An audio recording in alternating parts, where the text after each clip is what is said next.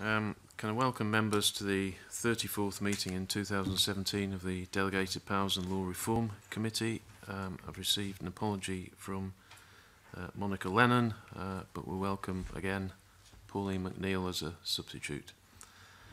Um, agenda item one is decision on taking business in private, and it's proposed that the committee takes item six in private.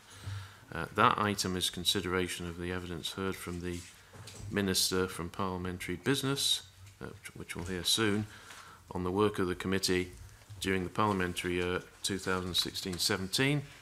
Uh, does the committee agree to take this item in private? Okay.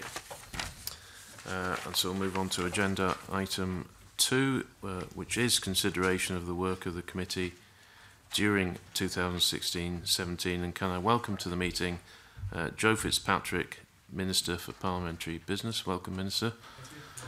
Um, Alan Ellis, Head of Legislation Team, Parliament and Legislation Team.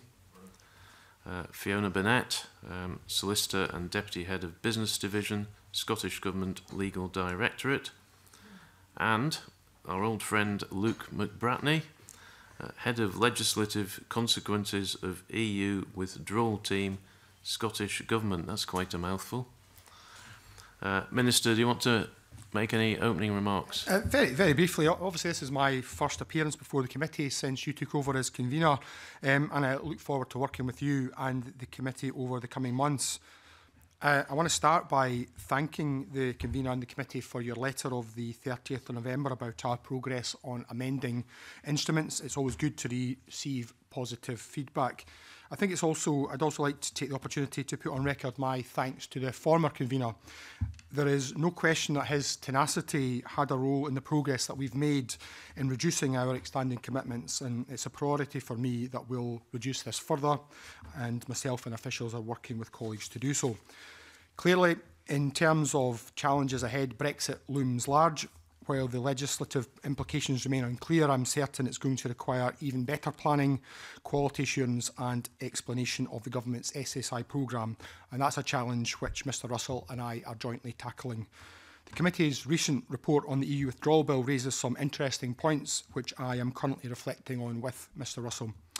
Um, but happy to obviously take any, any questions going forward.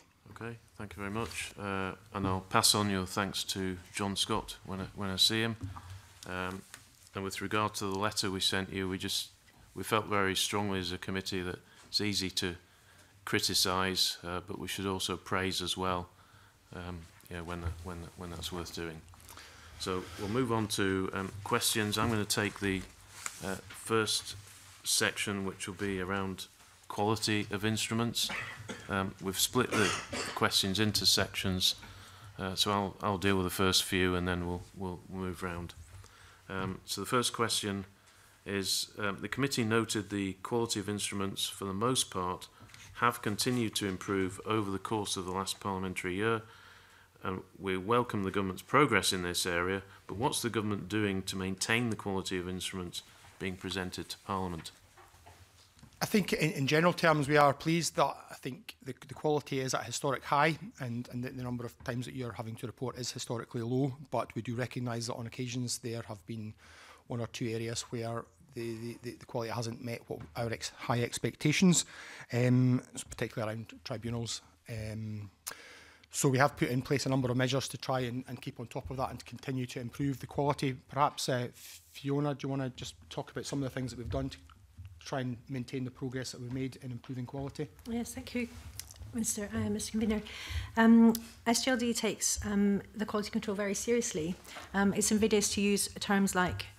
uh, perfection, but honestly, that is what we st strive to provide uh, when we're bringing forward subordinate legislation. Um, so we have a whole suite of uh, tools that we use to try and ensure that that's the case. Um, and checks happen at every level of the hierarchy as they go through um, divisions and through the unit and then to the parliament. Um, um, one of the most important measures that we've put in place in the last reporting year is the increase um, in size of the pool of stylists. So these are the solicitors who perform a double check, a second pair of eyes check on the instruments um, I think in previous years there haven't perhaps been enough. Uh, we perceived a slight gap in the numbers, and so we've in increased that. We've also increased the length of time that the stylists have to perform the checks, and we feel that that's, um, that's brought uh, a benefit.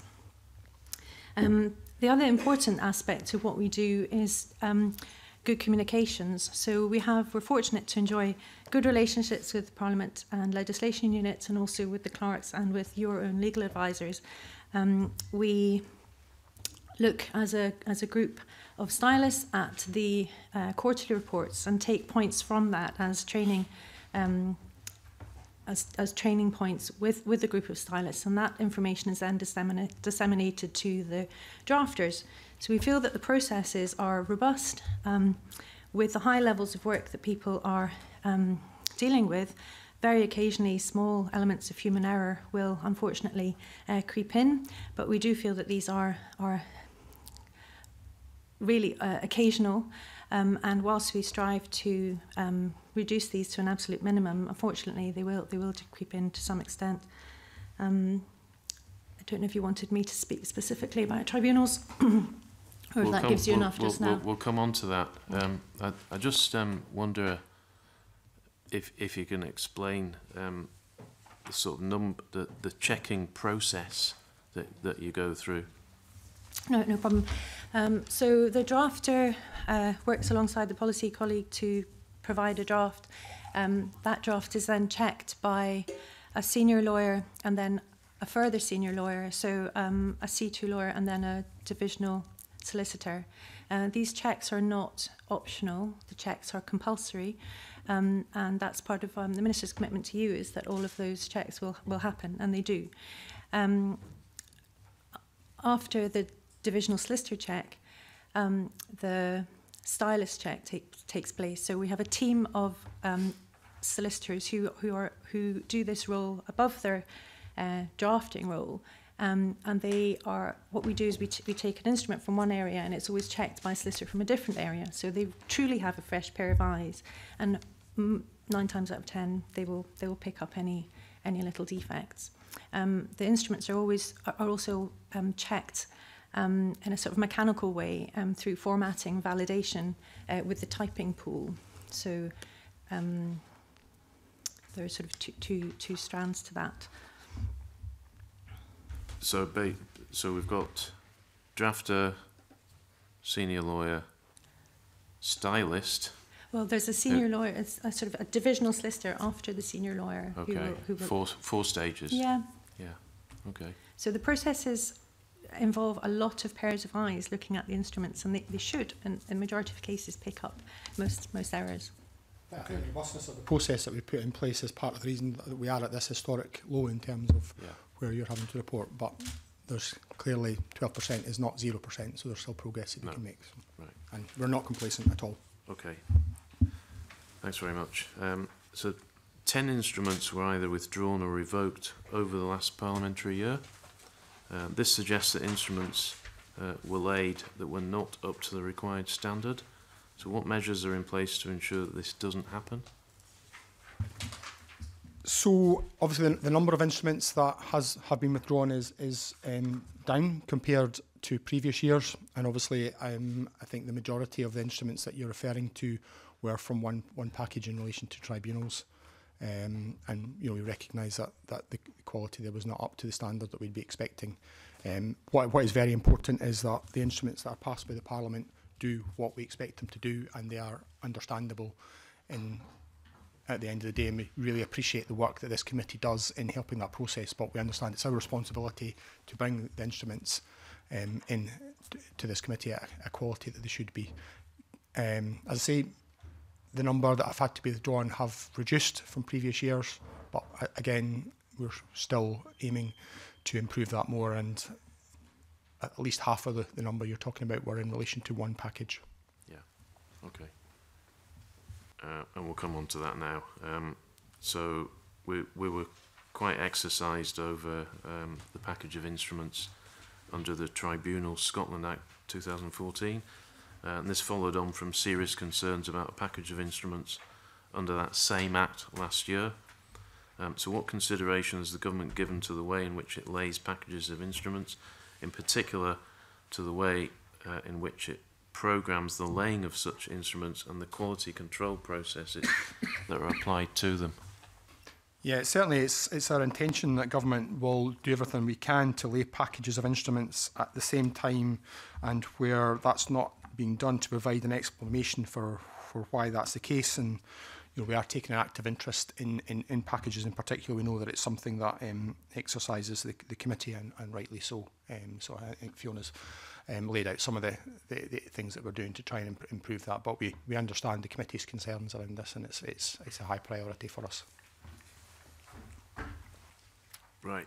Um, so despite the um, checks and balances that, you, that you've got, mistakes still come through uh, and they filter through to us. Um, so 62 instruments uh, over the reporting period contained minor mistakes um, and recently it looks as though that's been increasing.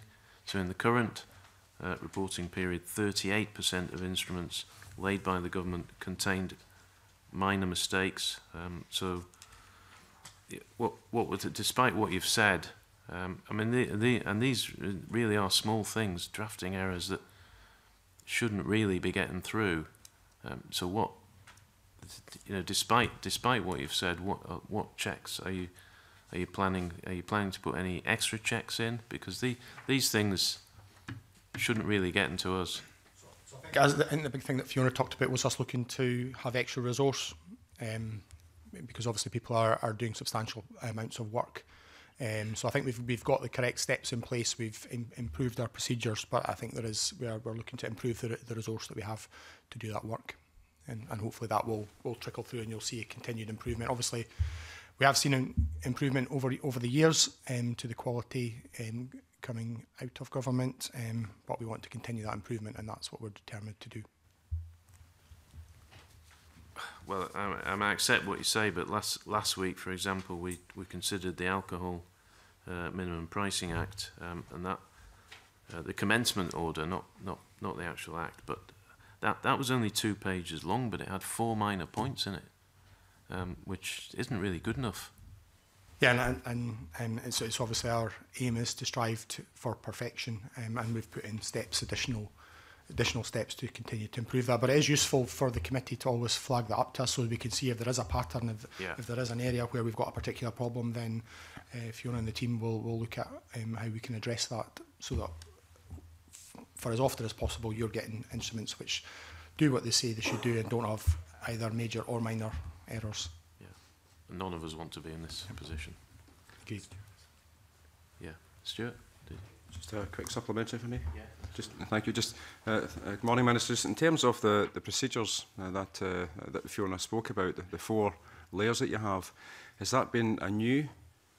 uh, a new situation that uh, that you have, or has that been something that's been there maybe for a number of months? And also, when did that process actually yes, come in? So, so we've continued to try to improve the process and make it more robust. But Fiona, do you want to talk about just the changes that we yes. made? Thank you. That system has been in place for a number of years, um, but I think it's just a case of tightening up, um, uh, just making sure that they, they now happen compulsorily, uh, you know, every time, um, and uh, increasing the length of time that stylists have to perform the checks has been quite an important improvement different as well. Um, so it's just, it's honed a system that was pre-existing. Yeah. Okay. Um, so I'll move on to the next section of questions. Uh, Alison Harris. Good morning, Minister. The committee noted that there had been a reduction in the number of instruments laid this year. So would you like to comment on the way in which the secondary legislation programme is managed and further, what are the reasons for the drop in number of instruments laid? So the, the number of instruments um, will fluctuate depending on, and on the legislation and, and requirements. So there's no um, aim to hold back um, instruments. Uh, we do try to manage as much as possible so as that um, instruments are over the year. I know it's a particular concern to, to this committee. If there are um, peaks um, of, of instruments, troughs as well, because um, concern. But so we, we try to manage the, the program um, over the course of the year Um, that's not always possible, and there will always still sometimes be, be peaks, but there's nothing um, untoward. It's, um, the, the number of instruments required will vary from year to year depending on the legislation. Okay. Whilst I don't want to go on to the next set of questions, I just, I, if I'm correct, you said that the scrutiny comes in with the length of time. You're giving people more time to scrutinise to ensure that we get the correct legislation. Did I understand that correctly? Yeah, that's one of the tools, I suppose, that we're using is just an increased time I just wonder how that's going to affect going forward when, you know, with the EU is how, you know, if they give them more time and there's more bills, how, how are you going to factor that in? Well, something that we're, we are looking at, um, it's difficult. I think we're all operating slightly in an information vacuum um, just now. Um, we would all like a little bit more um, information as to how this is all going to progress.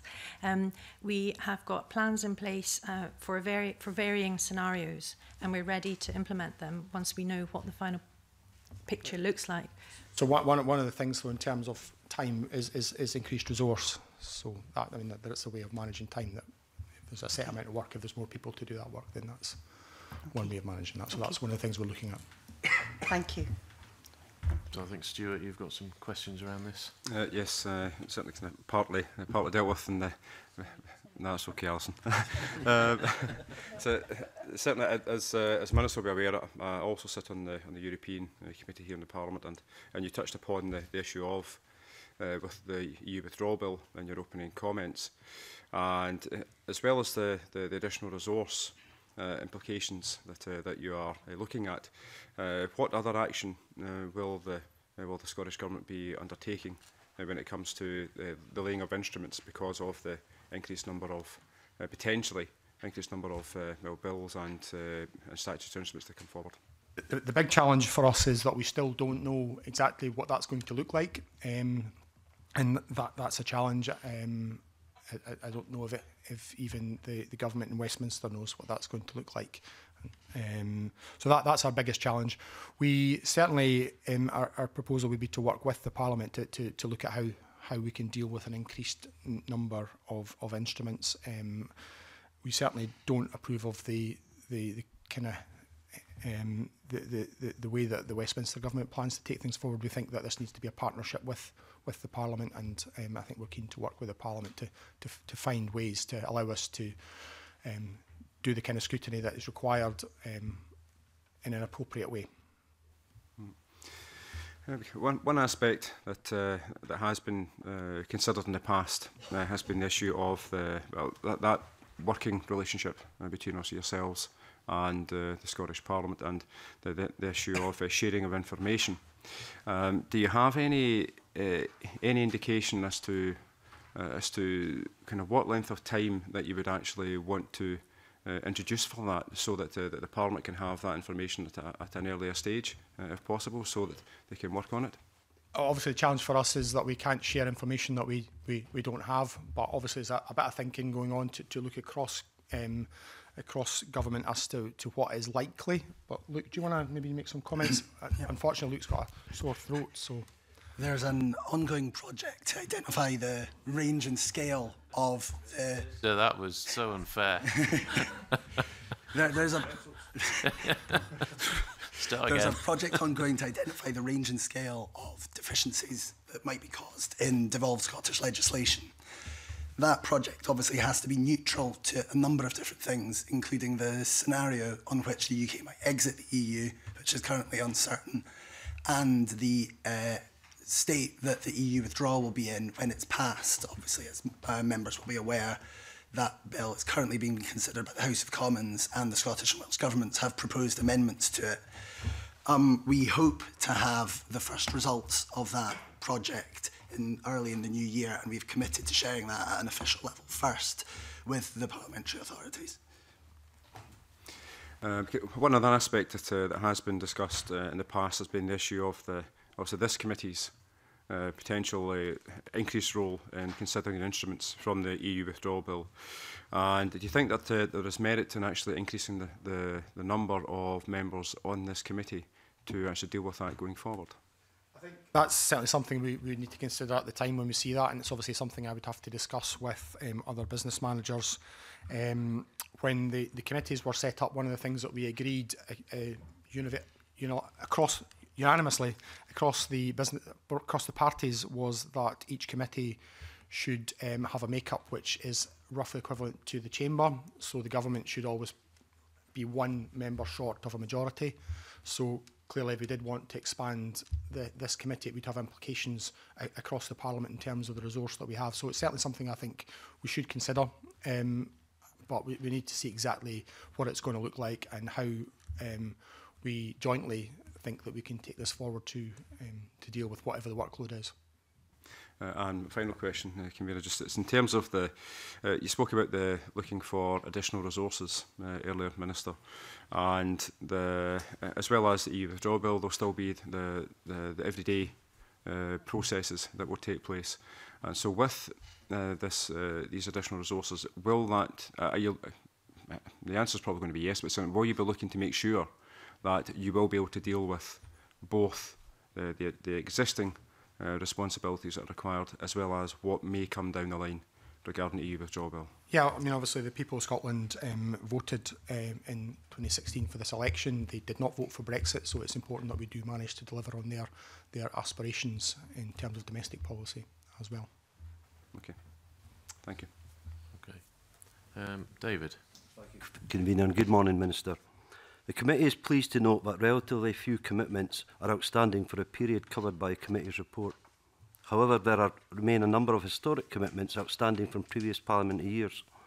What action is the government proposing to take to meet each of the historic commitments? And are these commitments to correct legislation still necessary? So, we've this was an issue that the previous convener um, had a, as a, an absolute priority, and um, I guess um, he helped us get to the point where now there are um, 14, I think, um, commitments which remain um, uh, to, to be com complete, completed, and it is a priority for us to to continue to reduce that. Um, we have asked um, officials across government to look at the remaining commitments, um, and I, I think to see where we think we can um, meet those commitments but also just to, to check whether there, perhaps there are some of them which actually we can say don't require any further action and we should just accept that that what's in place is working and um, either there aren't opportunities or they aren't the the commitment is no longer required. Um, so we'd be hoping to come back to the committee early in the new year, I think, to, to, to further expand on that, just as to how, how we managed to take that forward. Because I think it's a, it's a it's a reasonable point that we've made a commitment um, and they've been they're quite historic, then we should be able to say what we think we're, we're going to do going forward. I think we we just need to clear it up, don't yep. we? Um, clear the decks. Yep. Good. Alison, you got another one? Yes, I would like to ask that can you update the committee on the action it proposes to take to consolidate the council tax reduction Scotland Regulations 2012 and the council tax reduction state pension credit Scotland Regulations 2012? So um, the Cabinet Secretary has given a commitment that we um, accept that this is something that should be consolidated, but it is a significant amount of work to do. This is not it's not a, a minor piece of work, um, so um, I don't think at this stage I can commit as to, to when that would happen, but we do recognise it's something that, that we would would want to do. Um, but but it, it would be a major piece of work that we'd be asking people to to to do, and, and obviously there are other priorities as well. So I, um, I think the, the cabinet secretary is committed to come back to expand further on timescales, and um, I, I think I'll let him do that. I think he's looking currently at just exactly how much work it would would entail, but it's a reasonable consolidation is generally a good thing, particularly something which is being used on a day-to-day -day basis like, like that. Okay, thank you. Have you any idea when the cabinet secretary might come back to us? Um, I don't, but we can chase up on that. Okay, thank you. Um, Pauline. Yeah, good morning, Minister. Um, I wanted to ask you about framework bills. Um, so obviously where there's a framework bill, the policy is developed later and so you won't see the detail of the regulation until much later. Um, I, I often think that the the role of this committee is a wee bit underestimated. I think when people think when you pass legislation at stage three and it gets royal assent, then that's the law. What they don't appreciate is actually the detail of that still to come. And in many ways, parliamentarians well don't really have control over that. The government has control over that. So I'm really I, I'm interested in much closer scrutiny and understanding of that process. Now, you'll be aware that we've just, just been in the process of looking at a framework bill, which is the social security um, bill and the minister has said that that's necessary because of the nature of what we're doing here.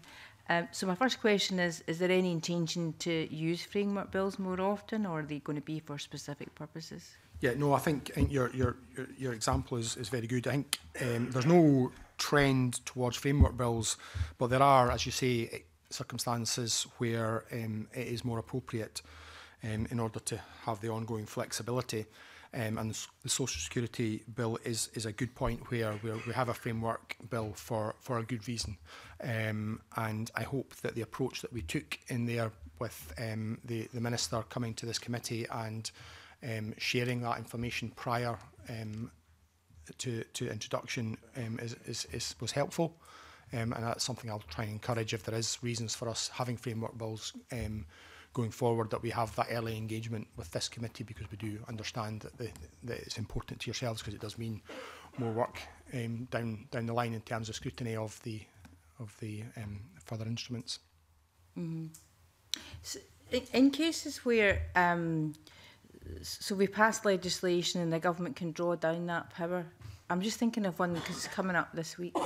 So the rent pressure zone, for example. So we legislated And then the government's got to decide at what point it actually brings forward the detail of that.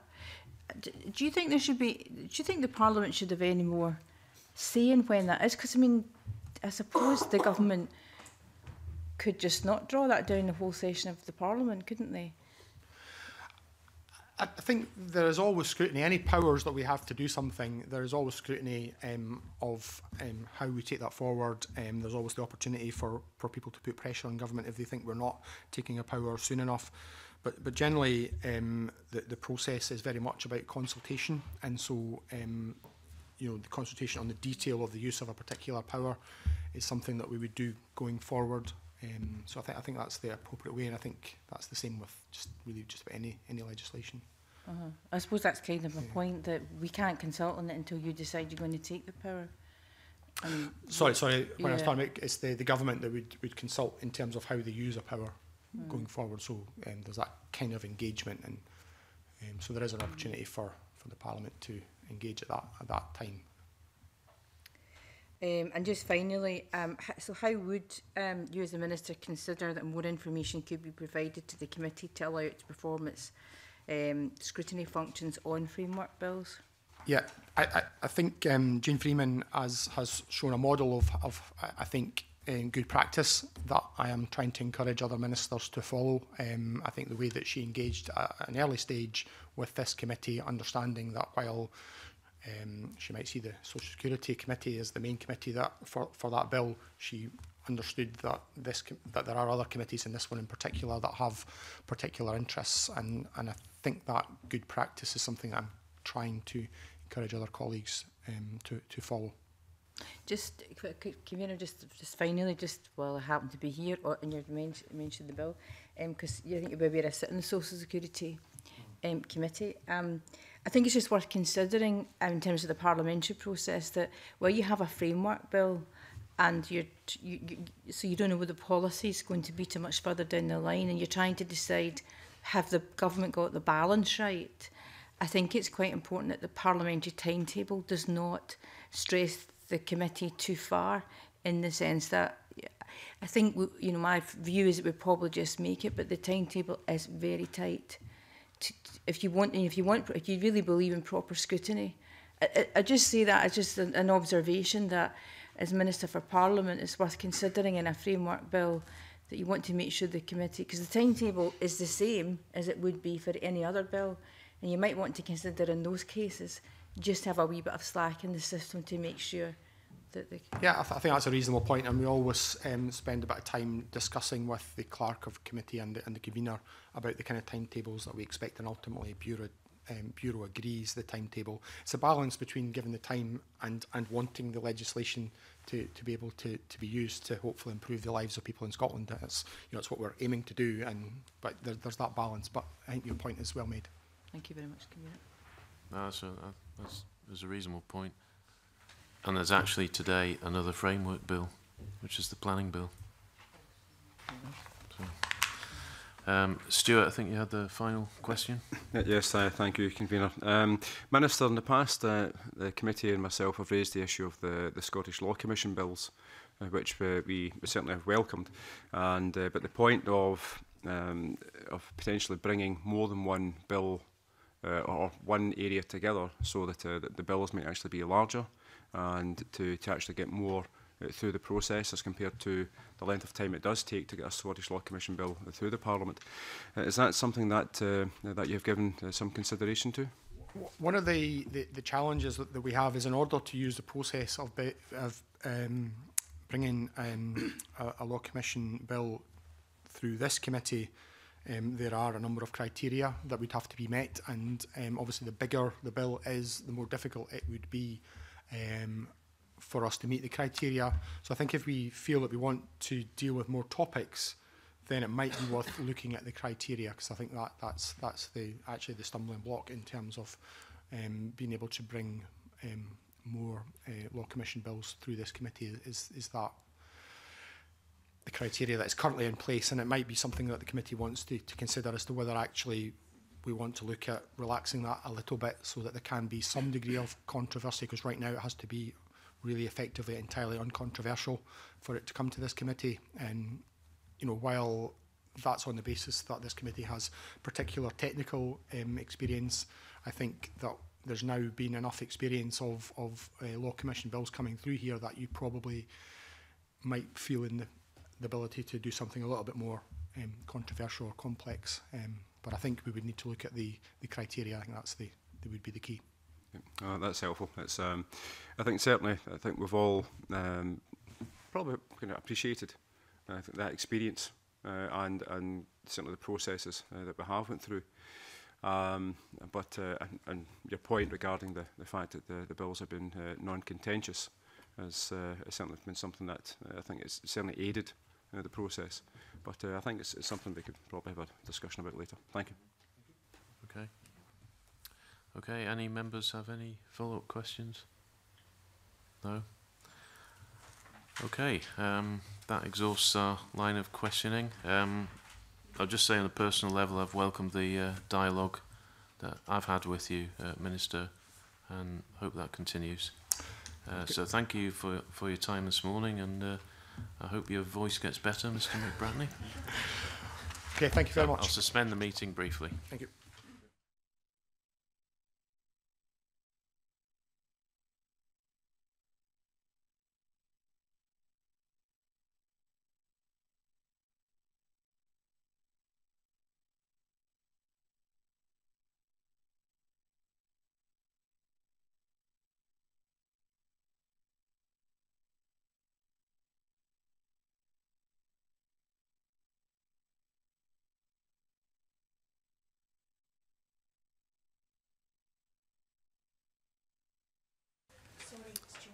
Right, we're moving on to um, agenda item three. If uh, committee members can stop uh, chatting amongst themselves, we're on to agenda item three, uh, which is consideration of an instrument subject to affirmative procedure. No points have been raised by our legal advisers on the draft police investigations and review commissioner application and modification of the Criminal Justice Scotland Act 2016 Scotland Order 2017. Is the committee content with this instrument? Okay. Uh, agenda item 4 is consideration of an instrument subject to negative procedure. No points have been raised by our advisers on SSI 2017-415. Is the committee content with this instrument? Okay. Uh, agenda item 5 is consideration of an instrument not subject to any parliamentary procedure and no points have been raised by our legal advisers on SSI 2017-414. Is the committee content with this instrument? Okay. I'll move the meeting into private.